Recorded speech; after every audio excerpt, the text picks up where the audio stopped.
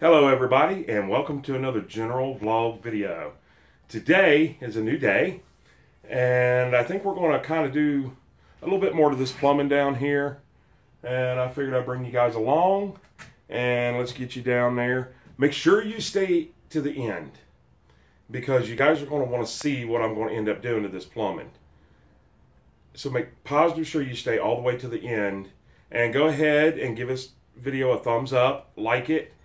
Please subscribe if you're not already subscribed. Smash that bell notification, go all the way up and click the bell and click all so you'll be notified on every single video that we post.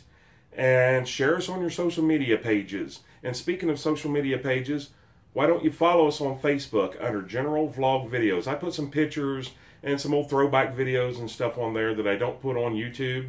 So, kind of give you guys a little up on everybody else. So, with all that being said, let me show you what the plumbing is down here. You guys have already seen it. So, let me get started on it and I'll bring you guys right back. All right, don't that look so much better? I mean, I think that plumbing looks a whole lot better there on the floor than it does anywhere else. So, stick around. You'll see what we're doing. Let's see. Let's get you guys moved over here. And get you down here on the work. All right. Let's roll this tripod on down here a little bit. There we go. And that's where we were. Okay. Can you tell what we changed? Eh, you probably can't. But keep watching till the end and you'll see what we changed. And we're over to here, which is actually our shower. Yeah, I know it's got to be stubbed up, but there's going to be a fake wall there. Well, it won't be a fake wall, it'll be a real wall, but it just won't be any use. You'll see when I get there. So, continue on. All right, I just wanted to give you guys a quick tip here. When you're working on plumbing,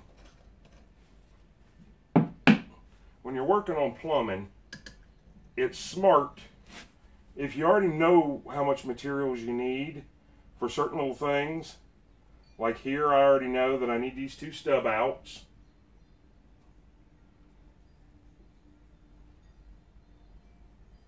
Actually, I need three.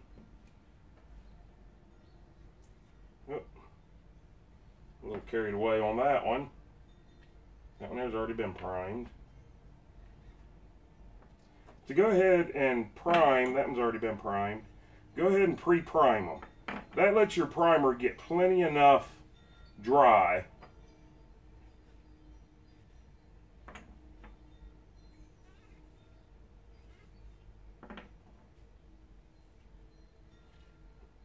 before you uh, get started on it. And I'm going to go ahead and grab this piece right here. I think. Nah, I'll go ahead and grab this little scrap piece here. And we'll go ahead and come back to about right there. This is not precision work because these are just stub outs. My little four inch stub outs go through the wall board.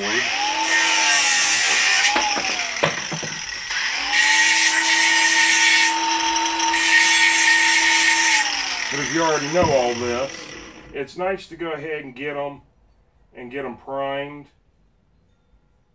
and cleaned.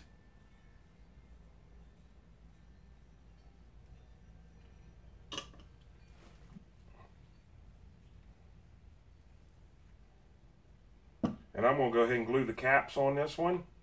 Actually, on all three.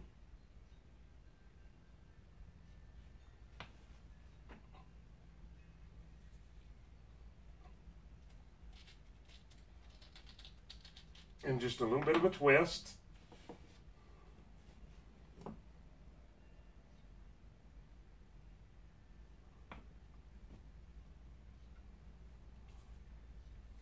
Just a little bit of a twist.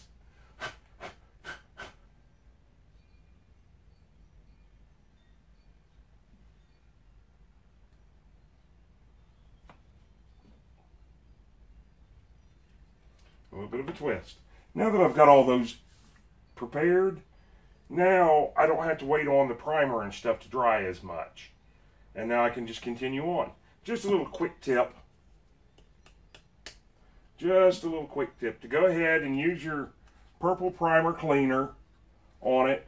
And also, sometimes on a lot of them, you'll see me grind the edges off of that with, you know, a lot of times, like if I've got a little bit of a burr on it, I'll just kind of go like that. But you can also, and I've got it down here, use a piece of sandpaper and that'll do it too. Boy, I tell you what, that kerosene heater is really smoking in here. But anyway, so I just wanted to give you that little quick tip real quick. All right, and just like that, all of that there is done. All the plumbing, as you can see, is done again. So why did I do that? Why did I rip out all the old plumbing? And this is really all I got left. I only ended up using, the first time I used four sticks, this time I only used two, and I used a lot of the scrap, which, can you call it scrap if it's actually never had water through it? Okay, let me explain to you why I did that. Some of you already know, some of you have very nicely asked me about it, and it brought it to my attention. Some of you have been kind of mean about it, which just, I don't know. I don't know why you do that, but you do. So we use the purple purple primer cleaner, and it is good for CPVC and PVC.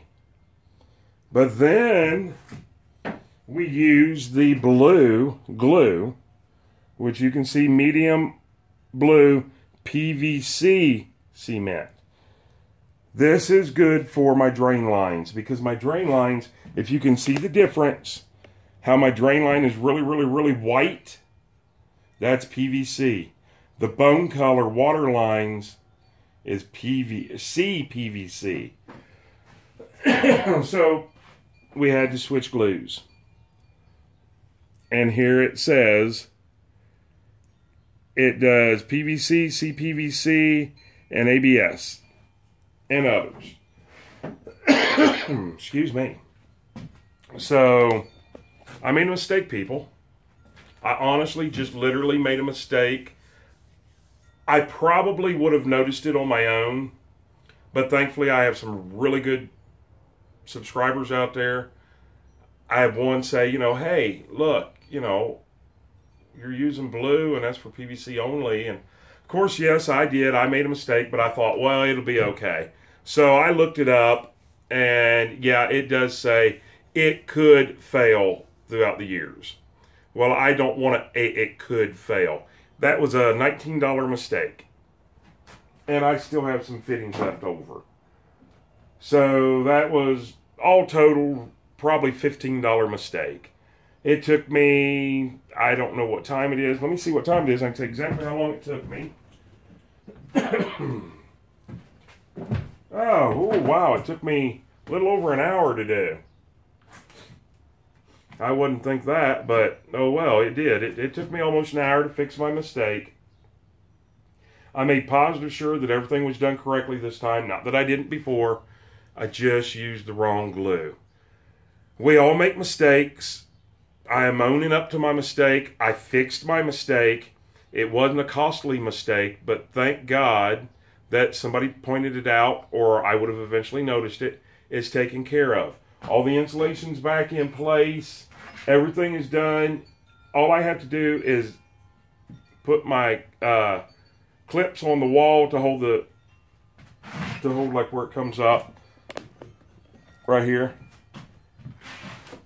I'm going to put clips on that to hold that in. You know, it goes back well past what my wall should actually be. But I like to make them secure. So I'll secure, oh, let's see, one, two, three, four. I'll secure four, maybe five to the wall. And then that job is done. I'm ready for walls to go up. Uh, we have all the electrical in. I still do have to remember a, a light for up top that can actually probably come down from the ceiling. We'll have to see on that. But there you go, people. I made a mistake. So, but, you know, I still got all glue and dirty, and you just can't see the glue. The glue's kind of clear.